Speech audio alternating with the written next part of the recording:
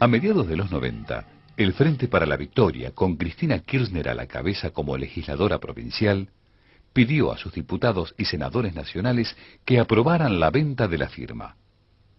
Avanzaba la propuesta española y se producía un fuerte debate en el seno de la Cámara Legislativa de Río Gallegos.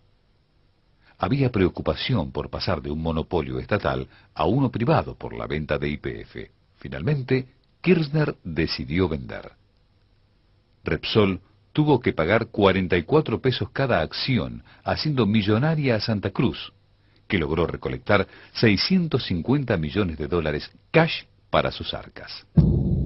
Fue enorme mi sorpresa al ver que cuando el gobierno de Menem decide en el 99 venderle IPF a los españoles, ceder la acción dorada y extranjerizar IPF, eh, que Kirchner, que en ese momento la provincia, como gobernador de la provincia de Santa Cruz, tenían el 4% de las acciones de IPF y se podrían haber opuesto y tenían un miembro en el directorio, vendieron su parte eh, y no hicieron ninguno, hizo Kirchner ningún pronunciamiento diciendo que esto era negativo para el petróleo argentino, que para los intereses del país. Él ha contribuido enormemente a lo que pasó del 99 en adelante, que fue la depredación de, los yacimientos, la sobreexplotación, eh, que ahora nos hemos convertido en un país exportador de gas y de petróleo, nos estamos convirtiendo en importadores.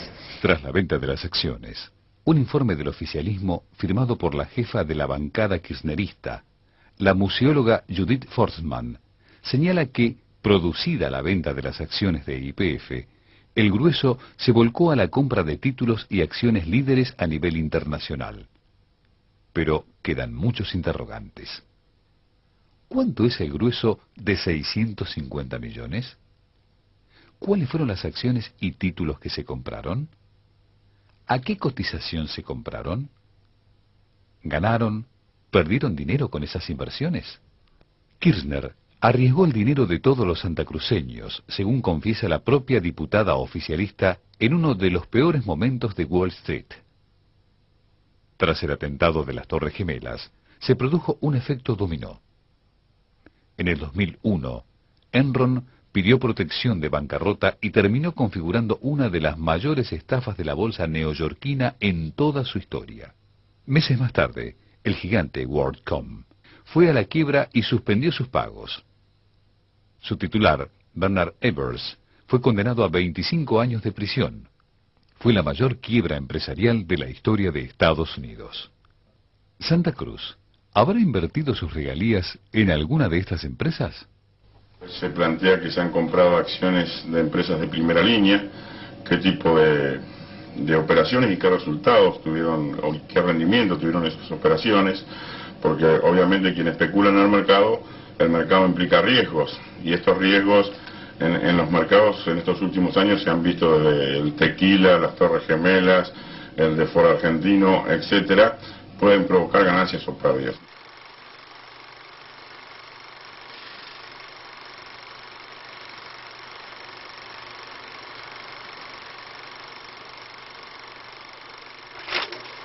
En el 2003, cuando ya Menem había abandonado la carrera presidencial, intentamos preguntar por el monto de los fondos de Santa Cruz, pero casi nadie sabía la respuesta exacta. Le puedo hacer una preguntita solamente porque estuvimos dos días esperándolo en su oficina y no lo podemos encontrar. Hablamos, yo lo que quiero saber es cuánta plata tiene como activos financieros Santa Cruz fuera de la provincia. Podemos hablar después. No, porque no nos podemos encontrar nunca. Después de, después hacemos... Solamente la cifra. ¿Cuánta plata aproximadamente? 22 millones de dólares. ¿Dónde los tiene? ¿En, qué banco? ¿Pero en qué banco? Bueno, pero eh, tiene que ser información pública, es plata de ustedes. Es plata. Está bien, pero no es, plata de los santacruceños, es dinero público. Bueno, ¿en qué banco está? ¿Cómo se compone ese activo financiero? ¿Son bonos? Eh, ¿Son acciones? Efectivos, Todo efectivo. ¿Cuánta plata sería de acuerdo a lo que ustedes tienen como información en la Cámara de Diputados? Y lo que dijo el gobernador siempre, aproximadamente 700 millones que están en buen resguardo gracias a que Santa Cruz ha sido predecible y ha podido generar un fondo anticrisis cuando el resto de las provincias argentinas no lo pudieron controlar, Santa Cruz lo pudo hacer. Usted no tiene buena información porque el ministro nos acaba de decir que son 532 millones. Hay 200 en el medio que es un dinero. Son 200 millones de dólares. No tengo la información conmigo acá. ¿Usted no sabe cuánta plata tiene Santa Cruz fuera del país? Seguro que sí. Si vamos, venís a mi oficina... Fuimos a la oficina y no nos atendió. yo calculo que se ingresaron más de mil millones de dólares, digo aproximado por ahí 1.200 millones, más los intereses en 12 años. Una pregunta muy concreta, diputado. Usted es el jefe de la bancada oficialista. Tiene que saber cuánta plata tiene Santa Cruz fuera del país. ¿Cuánta plata es? Se habla de centenares, de más de mil millones de dólares. Son muy importantes, son cuatro mil, cinco mil dólares por cada Santa Cruz. ¿Puede ser que nadie sepa cuánta plata tiene Santa Cruz fuera del país? Es un misterio. Se habla de centenares de millones de dólares que están fuera del país. ¿Se puede especificar la cifra, en qué banco está, qué casa? Avenida, boludo, es un problema. Pero usted, diputado, usted me lo tiene que informar. Nosotros, nosotros rendimos cuenta a la gente de la provincia de Santa Cruz. Nunca informaron cuánta plata es, nunca informaron en qué banco está, nunca informaron a qué tasa. Es la plata de los santacruceños, no es la plata de ustedes. Pero es la plata de los santacruceños que son argentinos. nosotros estamos seguros que está bien administrada por el doctor Kirchner. Cuando el doctor Kirchner sea presidente, entonces hablamos de otro término, en otros términos.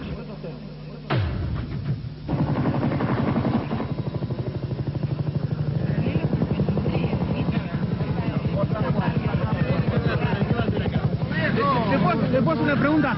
Estamos haciendo un informe con respecto al dinero de Santa Cruz. ¿Dónde está el dinero de Santa Cruz, gobernador? ¿En qué banco? ¿Cuánta plata es? ¿Le, le puedo preguntar? le, le puedo preguntar? de la le puedo provocación, preguntar- por favor. ¿Le puedo preguntar cuánta plata tiene Santa Cruz fuera del país? Gobernador, ¿cuánta plata tiene Santa Cruz fuera del país? Aproximadamente. ¿Y en qué banco? ¿Y a qué tasa? ¡Ey, deje tranquilo! Gobernador, ¿cuánta plata tiene Santa Cruz fuera del país, gobernador? Gobernador, mire, mire, mire, mire, mire, mire un poco su gente, pero mire su gente un poco. Podemos hablar un segundo, podemos, podemos hablar un segundo, gobernador. Podemos hablar, le queremos preguntar por la plata de Santa Cruz que está fuera del país. ¿Cuánta es? Gobernador, ¿cuánta plata es? ¿En qué banco está? ¿Qué tasa? Para que sepan los, los santacruceños y la gente. Nosotros sabemos. ¿Hay una plata? Hay una plata. Tranquilo, Gobernador, nos están pegando.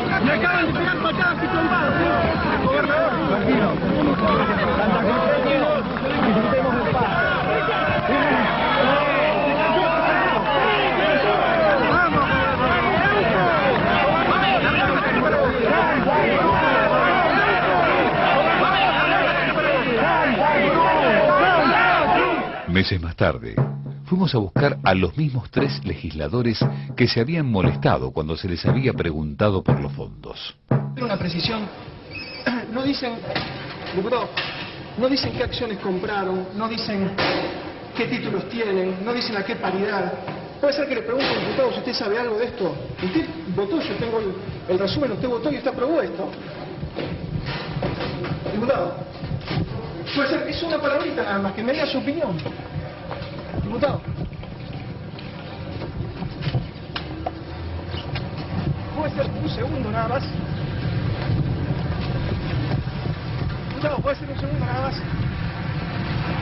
Bueno, diputado Batarev, otro diputado del oficialismo, se pone en fuga, es uno de los que aprobó la resolución con respecto a los fondos, los activos financieros de Santa Cruz en el exterior.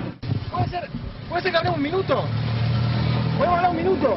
un minuto? Diputado Marinkovic, diputado provincial del justicialismo, llega a la Cámara de Diputados, pero ante la presencia de las cámaras de televisión, decide retirarse del lugar.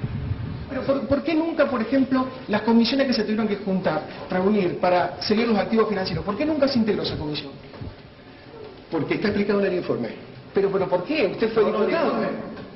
Pero, Esa tiene 10 años eso. Ha sido Bueno, explicado en el respectivo informe, ha sido explicado. Yo me acuerdo la senadora Cristina Había Kirchner sí. dijo, estos son fondos extraordinarios, es mucho dinero, es muy importante, nosotros vamos a crear una comisión y todos los meses vamos a informar. La comisión nunca se creó Y se ha informado, y ahora se ha hecho un informe acabado sobre estos activos 10 años financieros. después. Bueno, 10 años después, pero se hizo. Bueno, podemos decir, podemos decir entonces que Santa Cruz tiene más de 100 millones de dólares menos de lo que tenía. eso lo dice usted, no lo digo. ¿Y pero cuánto tiene entonces?